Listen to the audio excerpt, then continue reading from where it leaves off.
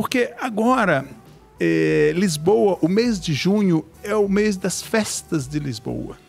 Então, a cidade é uma festa. Ela já virou uma festa, até vou falar um pouquinho sobre isso. Mas tem um troço que me encanta profundamente, eu até faço um evento chamado Tainha com Sardinha, são as sardinhas portuguesas, né? E como eles fazem, como eles preparam essa sardinha de uma forma tão simples e tão boa. Aí eu tava, eu sentei ao lado do, do assador e eu- o senhor coloca só sal. Ele falou, apenas sal, não precisa de mais nada.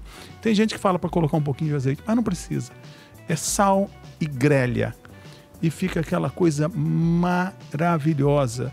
A cidade recende toda a sardinha. E todo mundo come muita, prepara muita sardinha. Vale lembrar que Portugal é o país que mais consome peixe na comunidade europeia. O português consome 60 quilos de peixe por ano.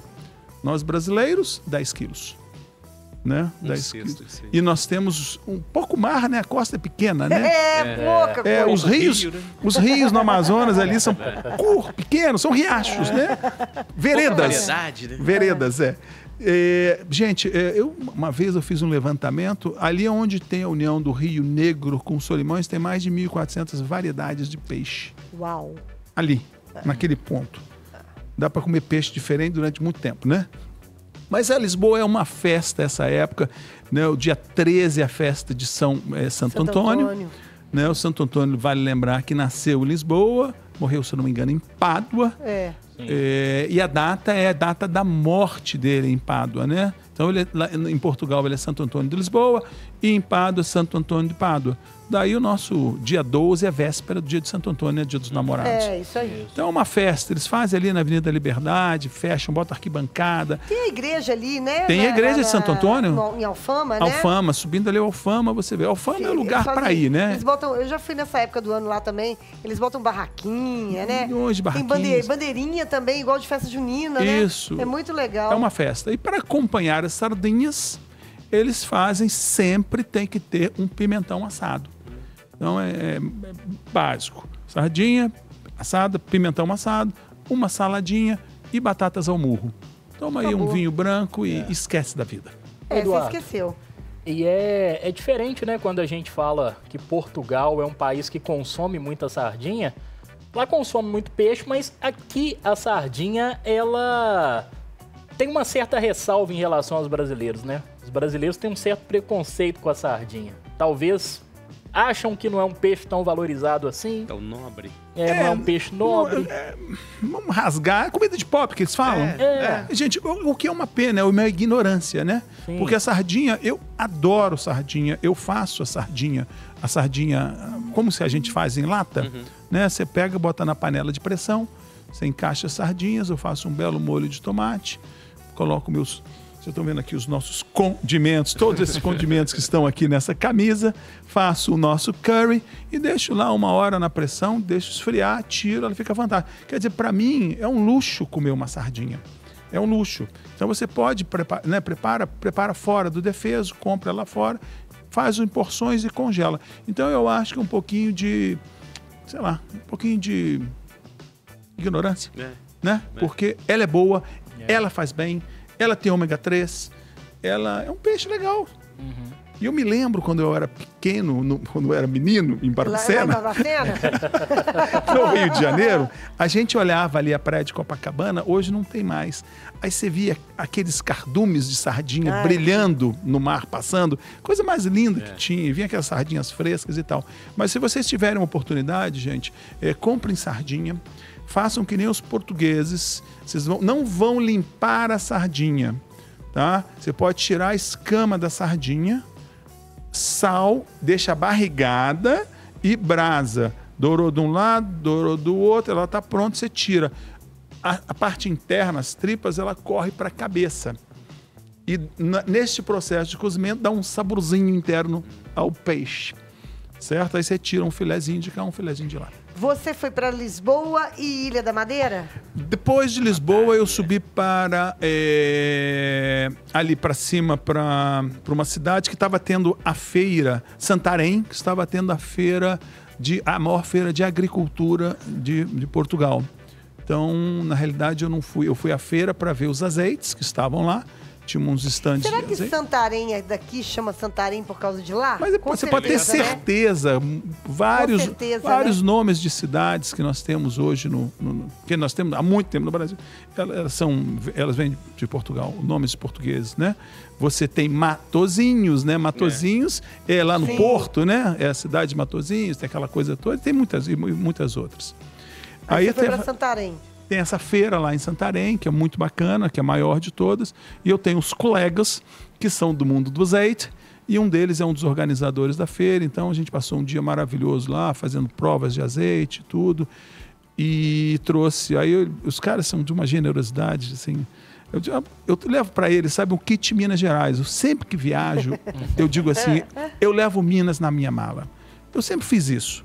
Eu não perco, eu não perco viagem. Eu acho que a gente não deve perder viagem. Mas eu não faço isso há um, há um ano. Eu faço isso a vida inteira que eu moro aqui em Minas. Eu, eu levava uma cachaça, né? Eu fazia questão. Vou para um restaurante, marquei para um restaurante top, aonde sei aonde, ou qualquer outro restaurante. Aí você dá uma olhada assim, com- aí você vê aquela cachaça que tem aquele número. Aí fala assim, gente, Não. pô, você é um Não. cara, você é um cara três estrelas, cara. Aí eu pego uma cachaça e digo assim, prove isso aqui. Né? Essa cachaça aqui tem essa madeira, ela foi feita dessa forma, nesta região de Minas Gerais, com este cuidado, com este sofrimento das canas. Depois você me fala alguma coisa. Quando eu estou saindo, cara, eu me lembro que eu falei com o senhor Ar- Arzak, Arzak foi considerado o melhor restaurante ali da, da, eh, da Espanha, né? Do País Basco, San Sebastián. Aí ele depois, eu- no finalzinho, ele veio, o senhor que é o senhor da cachaca? Eu falei, sou sim. Aí sentamos, batemos um papo maravilhoso. E eu acho que a gente tem que fazer isso. A gente, se cada um, porque a indústria é muito forte, ela vai e leva aquele produto e aquele produto fica rodando lá. E as pessoas entendem que aquilo é cachaça. É verdade. Não é cachaça. Então eu levo, eu levo um bom café, eu levo um bom queijo, uma boa cachaça, um bom doce de leite e mais umas coisinhas. Ah, levei, tô levando bala de cachaça também, aquela ba- bala de goma de cachaça. Leva aquela balinha e faço o kit Minas Gerais para os meus colegas. Então leva a mala, vai abarrotada e claro que eu volto com a ma- mala Abarrotada. abarrotada de azeite. É uma troca. Não, uma troca. Quando o cara abriu o porta-malas. Escambo, né? É um escambo. Quando ele abriu o porta-malas dele e você, eu falei assim. eu não- ele falou, não esqueci do Eduardo. Eu falei, ah, o azeite, que bom. Aí quando eu vi, eram três caixas de azeite. Eu tive que comprar uma mala, pagar Caramba, uma Eduardo. grana Eita, para caber dentro das. Isso Mas, é ouro hoje em dia. mas é ouro. É ouro. Com certeza. É ouro. Mas o mais importante que são azeites de sim, top, né? Top, top, top.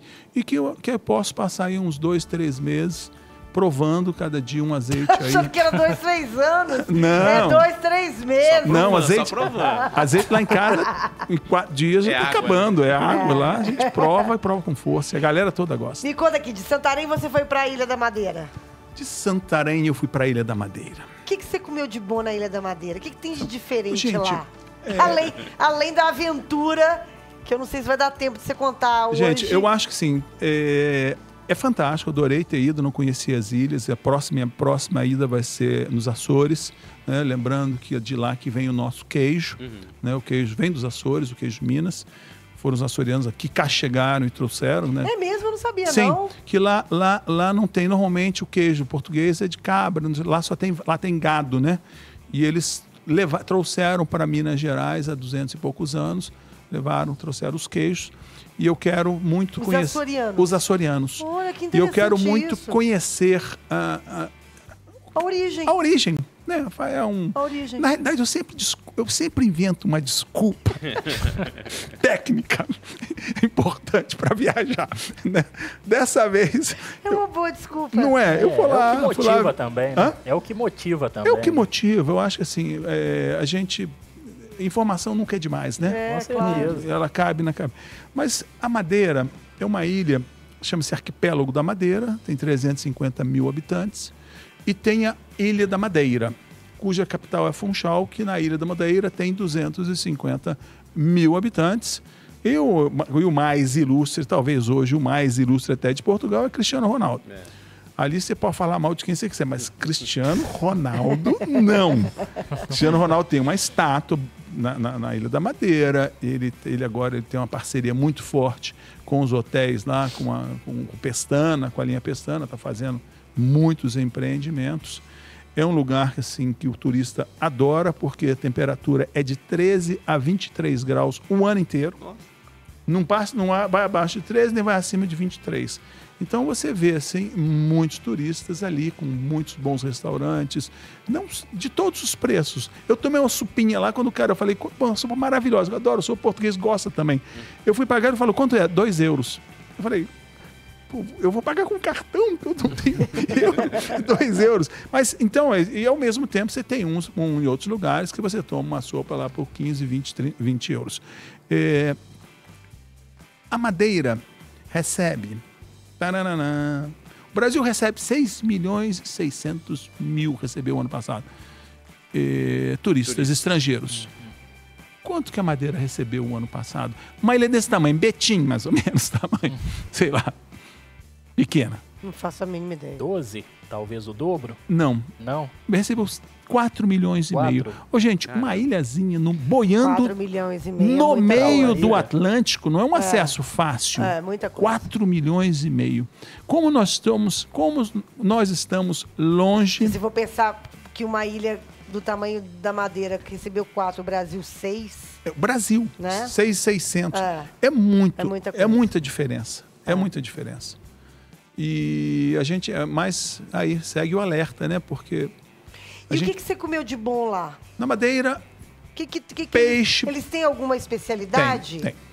Eles têm, a Madeira tem um peixe que é um peixe que você encontra em poucos lugares do mundo, na Madeira, que é o peixe espada preto.